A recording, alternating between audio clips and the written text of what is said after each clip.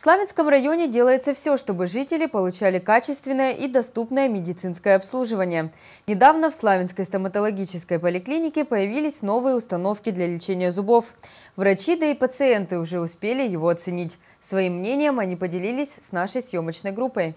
Шесть стоматологических установок, четыре бактерицидные камеры, три воздушных стерилизатора, один автоклав. Все это современное оборудование теперь есть в кабинетах Славянской стоматологической поликлиники. А возможность работать на новых установках – одно из главных условий качественного и доступного лечения зубов. Все это уже используется в работе для оказания терапевтической стоматологической помощи.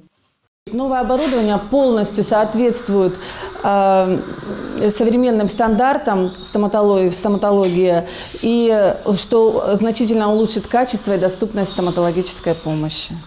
Стоматологические установки, которые ранее использовались в поликлинике, находятся в хорошем рабочем состоянии. Они были переданы в стоматологические кабинеты сельских поселений, чтобы улучшить стоматологическую помощь для жителей станицы хуторов. Пациенты поликлиники уже оценили новое оборудование. Я была приятно удивлена тем, что новое оборудование, э, все очень красиво, персонал очень э, вежливый, э, приятный, не больно, не страшно. То есть очень приятно лечиться в нашей стоматологической клинике. Удобство в работе ощутил и врачебный персонал поликлиники. Благодаря новому оборудованию лечить стало удобнее, проще.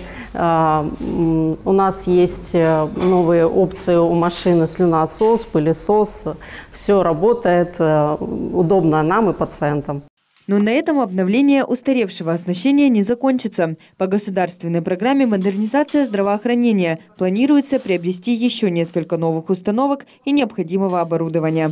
Тина Копачевская, Александр Косицын. Программа «События».